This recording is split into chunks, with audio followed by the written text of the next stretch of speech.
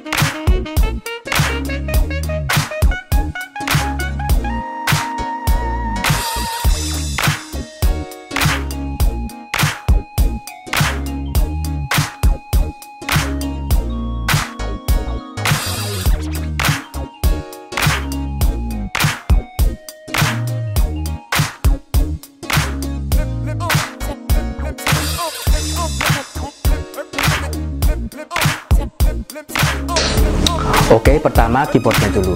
Keyboardnya adalah jenis keyboard membran. Dan aku rasain waktu pakai keyboard ini cukup enak. Sunyi, ringan, dan empuk pijat-pijatannya. Feedbacknya pendek dan cepat kembali. Build quality-nya plastik. Yang aku suka bodinya banyak ditutupi lapisan kasar doff biar nggak licin. Kurangnya, walaupun masih baru, tutnya sedikit goyang-goyang.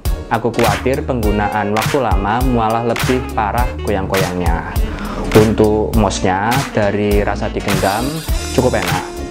Digenggam rasanya penuh di tangan bisa ganti DPI dua kali di 1000 dpi dan 1600 dpi warna lampunya bisa berubah otomatis setiap waktu dari ungu, biru, hijau, merah, orange, dan lain-lain. Pokoknya banyak deh warnanya. Untuk user experience nggak ada yang spesial kayak mouse-mouse multimedia atau kantoran pada umumnya jadi kesimpulannya, combo gaming HP GK 1000 ini seharga kisaran Rp140.000 paket keyboard yang worth it untuk kalian yang low budget tapi masih mem mempertimbangkan desain dan user experience. Build quality-nya cukup oke okay, feel-nya enak dan desainnya yang pasti nggak kaku kayak keyboard dan mouse kantoran pada umumnya. Mungkin itu aja reviewku kali ini. Saya Afif terima kasih